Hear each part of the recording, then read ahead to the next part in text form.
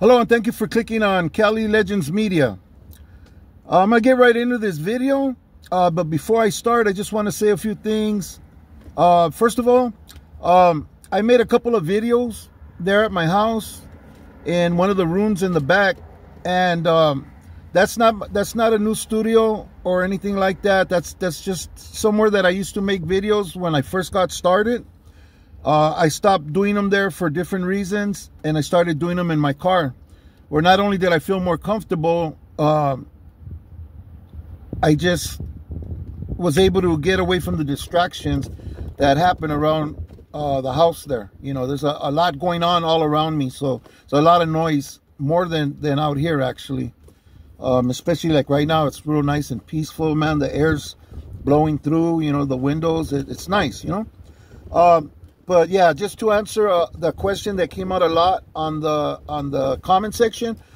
Uh, no, it's not. It's not my new studio or anything like that. If you go back to some of my old my older first videos, you'll see that uh, I used to do them there in that room um, and in the house. But um, I am working on a new place to do my my my videos. Uh, I have I got my my backdrop. I got all, all kinds of stuff going on. And all this is going to start happening in October. I'm start going to going to start doing some lives. Um, I've already got the software and everything I needed for to do the lives. I just kind of been shying away from it because I don't know what I'm doing. So once I get over that hump, uh, we'll be going live more often where we could uh, talk and interact with one another. Uh, it's just getting over that little hump, but I, am not even going to miss with it until the beginning of October because I have some stuff I have to do at the end of the month. And um, when I get started, I want to just stay focused and, and, and pushing on what I what I'm going to do. I'm going to be doing some podcasts. I have some guests lined up. And I've already got my equipment and everything that I need to do that. All my lighting, my mics, uh, uh, my equipment. So all of that is going to begin in October. The, the, the channel become more, will become more interesting when we're able to uh, interact more and and you won't have to just stare at this ugly face and, and listen to me talk all the time. Which I appreciate each and every one of you for, you know. Okay, so today's video.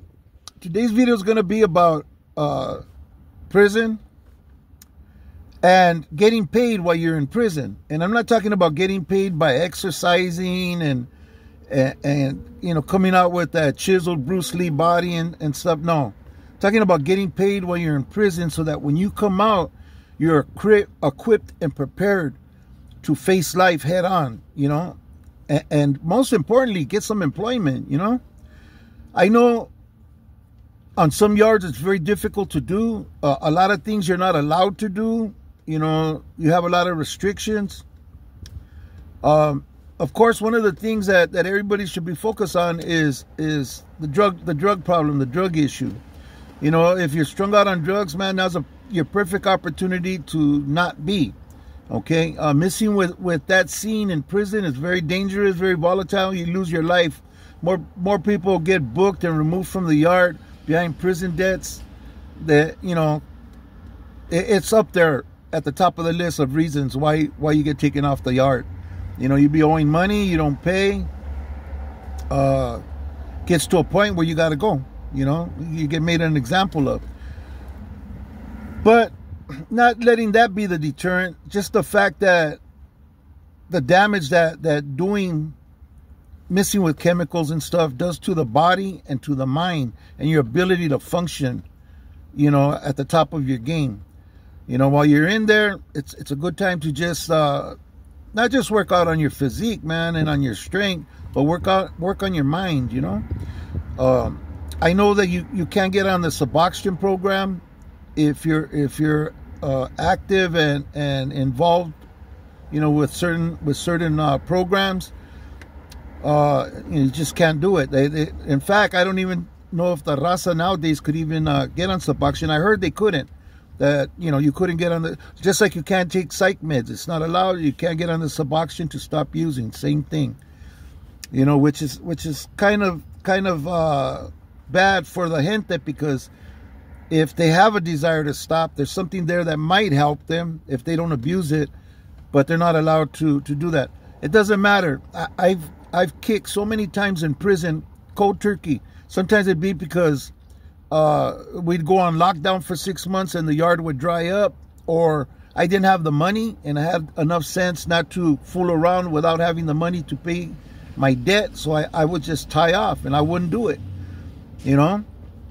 And I'd clean up and I'd stay a month or two clean. And then one day I just, ah, F it. And I'd go and do it, you know? Uh, an addict's mind is, is, is, is, uh, is ugly, ugly that way, you know? Addiction is a problem. That's why it, it's, it's called an addiction, you know? If it was easy, then people would leave it when it harms them, but they don't. You know, let me tell you a real quick story. Uh, so there was this this monkey, right? I don't know if, if all of you's heard this, but uh, or some of yous might have. But anyways, there was this monkey. They did an experiment with this monkey. So they were giving this monkey uh, negra, carga, right? And the monkey would get it and take it. It got to the point where they'd offer this monkey eat one or the other. Either you're going to get food or you're going to get carga. And he'd always go for the carga. They'd have to force the monkey to, to, to eat and not offer him the carga and just offer him food to eat. Otherwise, he'll take the carga if it was one, one or the other, okay? So, they got this monkey and they cut him off completely. They cut him off. They stopped giving him the drugs, right? And he went through withdrawals you know, he went through it. Uh, th their physiology is very much like ours.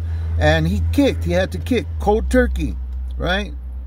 So they go back after the, the monkey's clean now. He's clean and, and he's doing good. And they go back and they start this, this thing with him again. They went and they took him a, some dope. And what did he do? He reached out and got it and he threw it. And started yelling and jumping around his cage and shaking his he was pissed right? Then they they got him food and, and, and the chiva right? And the monkey came up grabbed the dope and threw it. Grabbed the food went in and ate his ate his banana whatever they gave him. But my point is the monkey had enough sense you know, to know that that stuff was bad for him. And once he got off it, he he he he, he was mad at it. You know what I mean? And when I seen that little experiment, man, it blew my mind. You know that the monkey had enough sense for to do that. You know, and it'd be nice if if a lot of uh, people would uh, have that kind of mindset, that kind of determination, that kind of willpower. You know. But anyways, um, even though you can't get on a Suboxone program in prison, you know, if you got loved ones that are that are caught up or something, they could tie off and they can kick. They can do it. You know, they can do it. And uh, you know, that would be my first suggestion is to get off of that. And and if there's a time, you know, where you're separated from the opportunity to, to get anything, huevo, where you just can't get to it, then you clean up, stay clean, be smart and do as many programs as you can self-help programs all of that stuff you know. But the most important program i would recommend is the education part of things. If you haven't got your G ged get your ged and and if you do get in the college program. You know you you you get out with associate's degree. You might not think that that helps you but it it, it does. It'll open doors for you. Even though you have a criminal record even though you have a lengthy record because I did that and and I was still able to get out and work in the aerospace industry. How? I lied. Have you ever been convicted for a crime? Never. Not even a misdemeanor? No. I told them straight out. Did they check? A couple of places did. After I was working, you know, they went and did their, their background check whenever human resources got to me. But they never fired me behind that, you know, because I'd, I'd start working and I'd get down. You know, I'd stay busy. I'd go in early. I'd leave late. You know, I was on the grind and I was doing a good job. You know, so, you know, good people are hard to find. You'll be appreciated, and you'll be once you get your foot in the door, man. Do good, and that you know, a lot of times they'll overlook your your convictions. You know, they'll give you a chance. You know. Uh, recommend keep them tattoos off your faces, man. And this part of your, you know, see if you look at, at my tattoos, they end at the at the sleeve, at the end of the sleeve. So when I put on a dress shirt, you can't see my tattoos, you know, and and that was by design. You know, I kept it in mind. I kept them off my neck, so when I wear a shirt and a tie, you can't see you can't see none of my tattoos. You know. Uh, if you're gonna get your face all blasted up, it's gonna make it hard for you to get a job, man. And, and you know what? That's the most important thing in a man's life is employment. You gotta have employment. GR is not gonna get it. Disability is not gonna get it. You gotta have a job, a job that you like doing, and a job that pays well. And the only way you're gonna do that is if you get education. You, you man, with some of the things that some of these people go through in prison, they'd make excellent counselors. Man, they could speak from experience and, and, and their clients will respect that because they know you know what you're talking about. So to get a, a, a, associate's degree that'll get you into the counseling field, you know, or, or a drug rehabilitation program field, you know, the doors are there. It's offered to you. A business degree, you could get a, a there's several degrees offered, you know.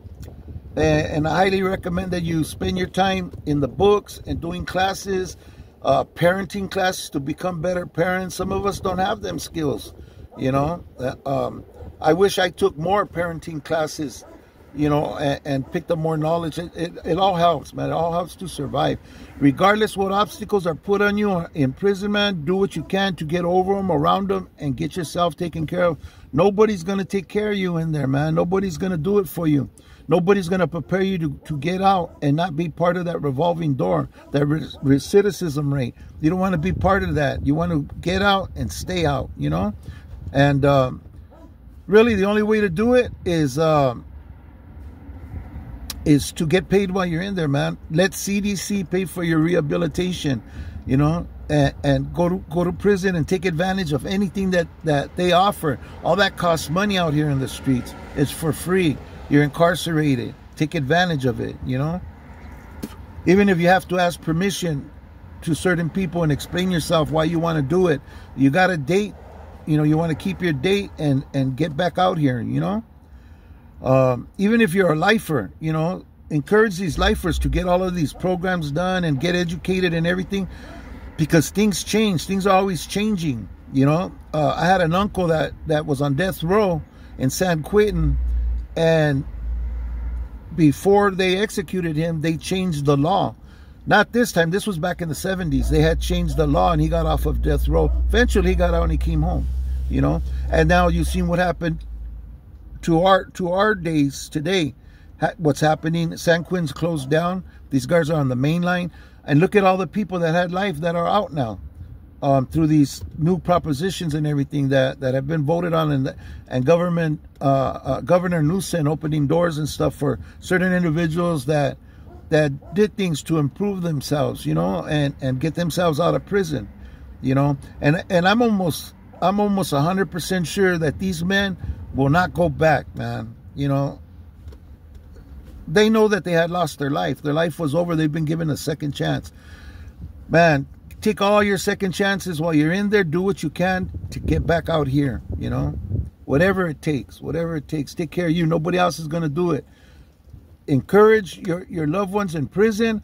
And those of you who's in prison I, that watch this, man, I, I hope I plant that seed in your heart and in your mind to, to do these things so you could get out here with us, man. You know, it's no joke in there. You want to, you don't want to spend your life in there. You don't want to die in one of them cells, an old man with all your life wasted doing foolish things, you know? Anyway, this is my video for today. I'm sure it's not going to get a lot of views. Uh, I really, I really don't care if this just reaches one person, the right person. It's all good. So if you know anybody this might help, encourage them. Uh, when you're talking to them on the phone or visiting them, encourage them, you know, to do the damn thing. You know, it's, it's doable. Thank you for watching and I, I appreciate each and every one of you. And I hope to see you on my next video. Stay strong, stay up, and stay free.